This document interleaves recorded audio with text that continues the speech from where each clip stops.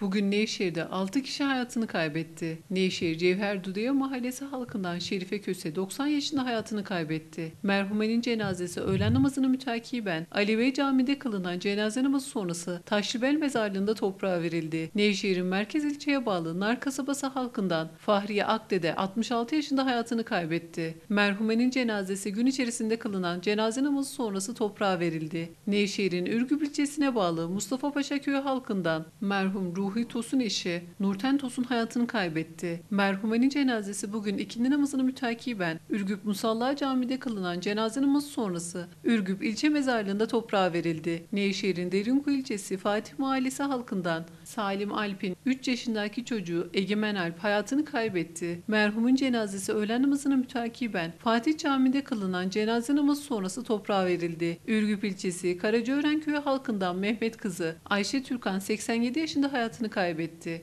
Ayşe Türkan'ın cenazesi öğlen namazını mütakiben Karacaören köyünde toprağa verildi. Özkonak kasabası Cami Cedid mahallesinden Hacı Bekir Kutay ve Emine Kutay'ın kızı Kemal Oğuz eşi Hatice Oğuz hayatını kaybetti. Cenazesi Özkonak kasabasında defnedildi. Nevşehir Anadolu RTV olarak merhum ve merhumelere Allah'tan rahmet, yakınlarına başsağlığı dileriz.